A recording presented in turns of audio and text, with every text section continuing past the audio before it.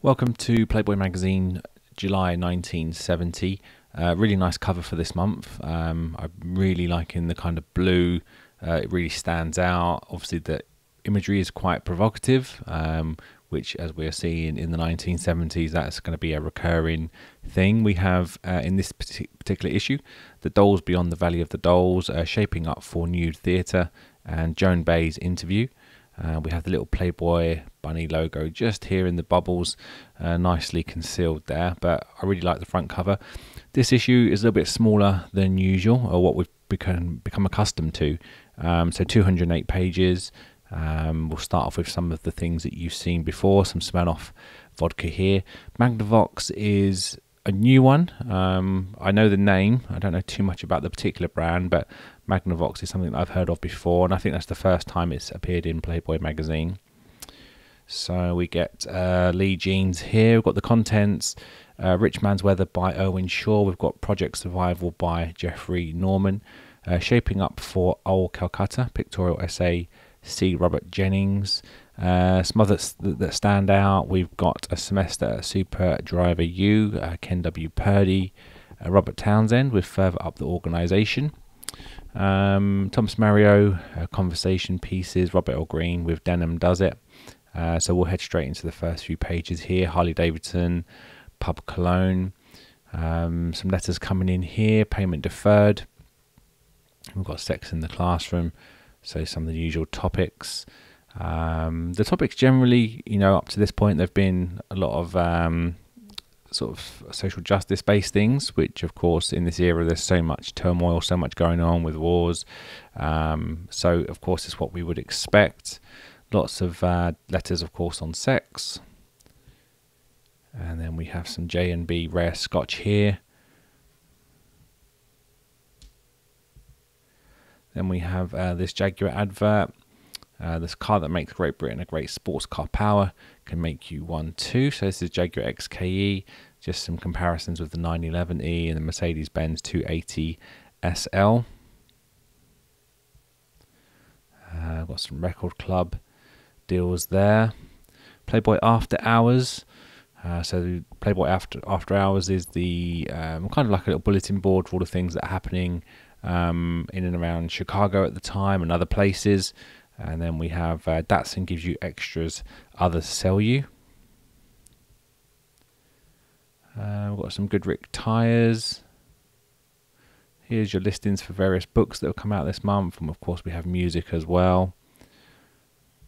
Uh, Paul Jones there. Some whiskey. Yamaha. Um, catch 8000 RPM, fifth gear, and a look of envy uh, all at the same time. Uh, yeehaw! This is the Yamaha. What model is this? The 350 Street RS. Uh, so quite a nice looking bike. I think I, one of my neighbours may have had one of these when I was a bit younger. I'm not sure.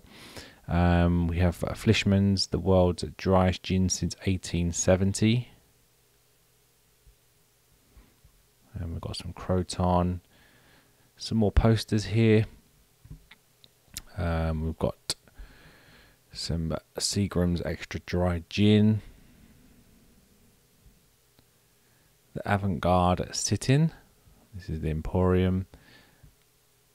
So lots of new things coming into the magazine. It feels a little bit more different now. There's a just a few things like this, for example, the um, the kind of gimmicky things that you can buy, and these are common things that you'll see on eBay for sale uh, quite often.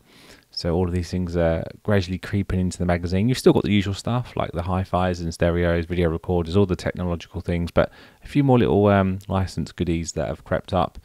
Uh, the Playboy Advisor, some more letters coming in here, various scenarios about dating, um, and there's this one here. Please tell me if the length of time it takes for the penis to become soft after orgasm is any measure of the extent of satisfaction in the male. It seems to vary greatly, and this is Miss D from Pittsburgh, Pennsylvania.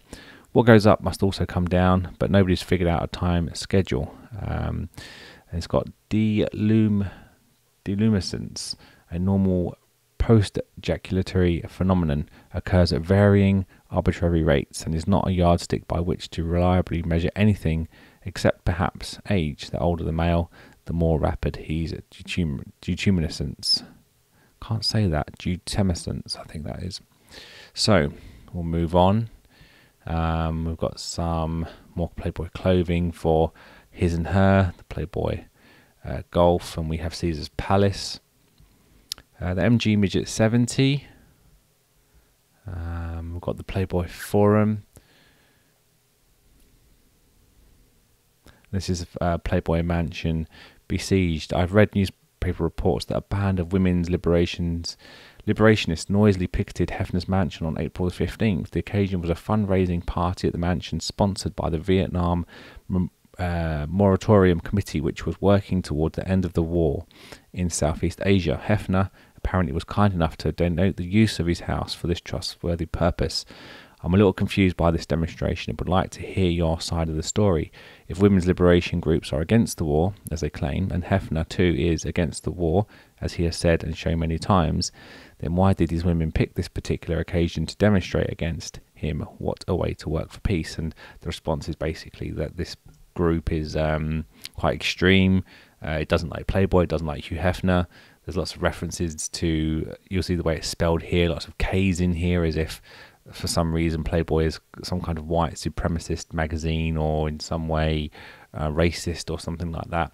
So you have these groups, even at this time, even when you're on the right side of things, they still hate you based on the other things that you kind of um, sort of look towards and uh, the ideals that you have, whether it's sex based, and they have these accusations of, uh, you know, Playboy kind of um, leering over women and um, you know all that kind of stuff. It's it's an odd outlook, and people can't just take things at face, value and work with people who are trying to do good. It's uh, it really shows with these kind of extremist groups. More letters here. Um, so you've got six swingers, the ethics of swinging, uh, awash in communism. Um, so really a 70s um, typical issue, I think. Meet the Softcore, and this is introducing the $7.95 Softcore chair. And then we have Joan Baez, a candid conversation with a dedicated anti-war activist and folk singer. So she's a um, prominent musician. She worked with Bob Dylan. Um, I think there was talks of her dating Steve Jobs back in some point in the 80s, late 90s. Um, but uh, you know, a historic career. Um, I personally don't know much of her music. I probably do, I guess, in a third party sense. I've probably heard it, not known who wrote it or who performed it, but most likely I have. So I might take a, a little deep dive on that and try and uh, listen to some of the music that she's wrote and, and sang. Uh, maybe you are taking a little too much of a chance on love, and this is uh, makers of Fourex, Ramses Sheik, another line, Find Birth Control products. So this is really the era where the birth control kicks in. Obviously, it was invented a little bit earlier than this, but we start to see it being promoted in, in more places. Pall Mall cigarettes. This is a continuation of the interview. Give it a pause if you'd like to learn a little bit more about Joan Baez. Playboy After Dark uh, is something special for summer. So I always like these images here. Always make me feel good. Kind of looks like real sort of parties going on. Uh, what sort of man reads Playboy? Here he is. Not sure what he's got there. Bottle of something in his hand, I think. There's a couple of ladies looking over. And then we have fiction by Irwin Shaw, uh, Rich Man's Weather. Got a cartoon here. This is by Interlandi. And then we've got Reportage. This is by Jeffrey Norman. How 6,000 students met and talked and learned that you have to do more than meet and talk to save the environment. Um, so this is true. You know, when you want to do things and move things along, it does take some physical activity. It's all very well meeting and discussing and planning, but it's in the doing that we get things done. So this is why I admire people like Elon Musk and um, you know various other people along those lines who just have an idea, they run with it. Um, it may not be perfect, you know, using batteries in cars, for example. We know this is not sustainable long term because of the uh, minerals that are used. I think in, particular cobalt, and you've got lithium as well, which are huge strip mining, I think, techniques. Um, but it's a step in the right direction, I guess. We've got this pictorial essay by C. Robert Jennings, Shaping Up for Old Calcutta How the Techniques of Encounter Therapy Are Used to Precondition Performers for the Theatre's Nudist Experiment in Erotica. So, of course, a little pictorial here, all very arty and uh, performance based. We have a refreshing alternative to the omnipresent four in hand, and this is Beau Brummell attire, uh, Robert L. Green. So something a little bit different here, quite abstract, the artwork. And we've got Buck Brown, another cartoon. Uh, Man and Beast, a reasoned criticism of the fashionable contention that ethologists can unerringly understand and predict human behaviour by observe, observing that of lower animals. This is by Morton Hunt. So, when people are making these comparisons, trying to predict human behaviour from animal behaviour, um, obviously there's some errors that can occur in that. Obviously, quite obvious ones um, because we are very different to animals in behaviour and intelligence. So, uh, article by Ken W. Purdy here. High performance driving schools may not turn you into a Moss or an Andretti, but they'll teach you how to get the most out of your machine and yourself. So, as we see in the last few years, we've had these high performance sports cars starting to appear in motorcycles, and here it has the, the ways that you should corner and turn. Uh, so, this is a semester Super Driver U. Uh, pre- prepare for the worst, Harold. Uh, I only took along enough pills for the two week cruise. I'm sure you can guess what kind of pills she's referring to. Uh, further up the organisation, uh, this is an article by Robert Townsend, the author of the number one bestseller and former head of Avis, continues his assault on the dehumanising and unprofitable practices of big business, which rings many bells um, with what's going on in the world today. There's lots of comparisons about business not being sustainable and uh, not ethical in many regards. It says, uh, and offers the executive echelon a handsome dividend of refreshingly iconoclastic commandments for getting down to the no nonsense nitty gritty of corporate health. Uh, Ralph Schoenstein, Nuclei Neighbor. And then we have Torrid Italian Beauty. Ford and De Tomaso have joined forces to create the Pantera, a cat swift road machine of sleek sensuality.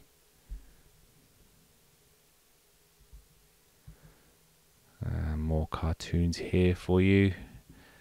And then we have our Playmate of the Month. Uh, this is Carol Willis.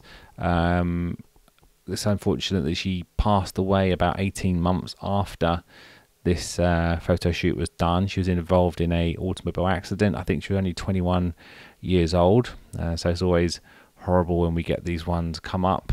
Um, here's her centerfold. You know, just just makes you think of you know how promising these kind of times are, and then obviously with car safety in this era, you know, 60s, 70s, it's still not great.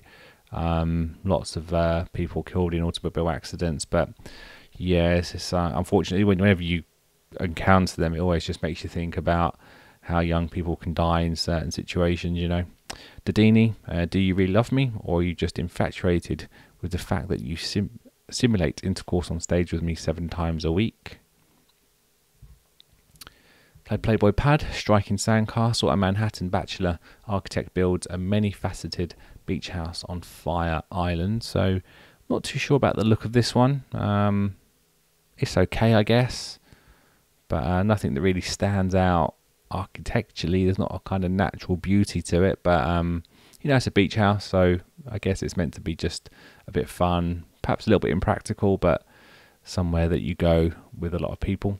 Alberto Vargas, uh, not one of his best pin-up artworks, but still good. Uh, Last Train to Limbo. Why were there no other passengers? Why didn't it seem to matter? Uh, everything you always wanted to know about television but were afraid to ask. Explained by Ben Masselink, uh, ripping the veil of secrecy from a taboo topic. Uh, a TV authority's frank replies to hitherto unanswered questions about man's favourite pastime point the way to greater viewing satisfaction parody. Conversation pieces here by Thomas Mario. Selected hors d'oeuvres to make your next cocktail party the talk of the town. So some various things. It looks like caviar, Uh, what else do we have? Pates, etc. So, yeah, looking good. The Dolls of Beyond the Valley. Russ Meyer, the Cecil B. DeMille of the Skinflix, has stocked his screen sequel for the best selling Pop Boy with gorgeous creatures, including two of our own playmates and bizarre carryings on. So here he is here with Gina Dare. And here's some of the models that appear in his productions. So again, a nice, uh, quite lengthy pictorial actually. Um, lots here to look at. So feel free to give it a pause if there's any models that you recognize or that's why you come to this particular issue of the magazine to uh, catch a glimpse. On location, they were filming a television commercial in Manhattan when the enemy attacked, crying death to the manipulators by Thomas Baum. And Denim does it. An erstwhile workaday uh, fabric takes a great fashion leap forward. This is by Rob L. Green. Um, we've got the Rebel Classic there. Erich Sokol. Another cartoon. Anatomy, Anatomy of a Massacre, and this is article by Jess Frank Frosch, Frock. A military intelligence officer reveals and analyzes the convergence of forces, tensions, events, and decisions that lead to such horrors as the My slaughter and the policy of silence that follows. So, uh, the military, of course, has been involved in various massacres, you know, not just in Vietnam, but of course over the years in Gulf Wars and many other um, things that we've had to do. You know, whenever there is war, even in Ukraine, you see this now with Ukraine and Russia. You know, you, you go in to fight a war, and what ends up happening is it's your comrades get killed around you, and it ends up a, a war of revenge and that kind of thing. And uh, it's just the, the the general nature of humans, unfortunately, to get kind of retribution and revenge is a horrible thing. Um, here we have maybe you can't afford a Lamborghini, but you can afford a Lamborghini's tires. This is Pirelli. So I think this is the Lamborghini, yeah, P400 Miura. Really nice looking car. Um, we've got PSA. And no, I don't believe in love at first sight. I think we should wait until you take me home. So it looks like a real uh, Lothario here in his uh, tux almost, his frilly tux. And then we have just some more uh, continuations of articles. John Dempsey cartoons here. You know his style by now. And uh, quite a few actually this month. Eric uh, Siegel here. Remember that rubbish we learned in high school about the human body being worth only 97 cents? And Philadelphia Club opens this fall. Now visit Playboy at 20 locations. This is the Playboy Club news. I need to come back to the Playboy clubs at some point. We need to have a kind of special on those, um, just to investigate the goings on and um, the eventual downfall. I think that might be quite a good video to do if we look at those in depth. But at the moment, the clubs are booming. And I was actually reading a little piece on Victor Lowndes, who ran the London Playboy Club, had the casino there, and the subsequent um, training house, which is called Stocks in Aldbury in Hertfordshire in the UK. And uh, Victor Lowndes was one of the highest paid executives um, in in Britain at the time, and obviously had a, a, great contract and working relationship with Playboy. Eventually, he fell out with Hugh Hefner partially, but um, I think they eventually kind of made up, and I think it was over um, Victor Lowndes' partner, which was uh, Martine Cole, I believe her name was. Uh, she was also a, a playmate. Uh, we have this cartoon here, which is quite interesting. Haven't I raped you somewhere before? Um, so yeah, it's a an odd cartoon, an odd, an odd uh, caption on it as well. But you know, Playboy is pushing the boundaries. That's what it does. Some more Playboy forum articles here, or letters. Sorry. Uh, I just hate the way men undress you with their eyes, and this is relevant to today. You know, when uh, women are walking around in quite skimpy kind of outfits and quite revealing things, and when people look, they get this surprise kind of um, attitude towards it. It's um, a very strange thing, but if you point that out, you're kind of cast as a villain in some sense. I've got John Dempsey here. Uh, not too much left now, I don't think, as we head towards the end of the magazine. It's not one of the best issues we have. Certainly, the photography isn't kind of all that. The cover's good, um, but it seems like it's an issue that's been kind of almost thrown together a little bit. Perhaps they're waiting for interviews to be done and that kind of thing. Beauty and the Beast, the best of everything the girls, the fiction, the fact, the fun. That's the beauty of it all. Subscribe to Playboy today.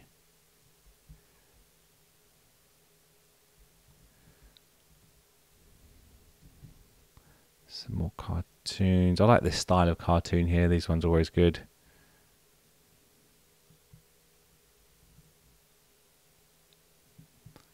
So more subscription advertisements and then until Annie Fanny to finish off the magazine as usual. Feel free to give it a pause if you wanted to see any more.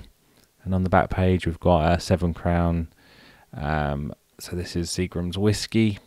Uh, next month, we have Dr. Paul Ehrlich, uh, the outspoken population biologist and prophet of environmental apocalypse, sets forth his views in a chilling Playboy interview. That's going to be an interesting one to read.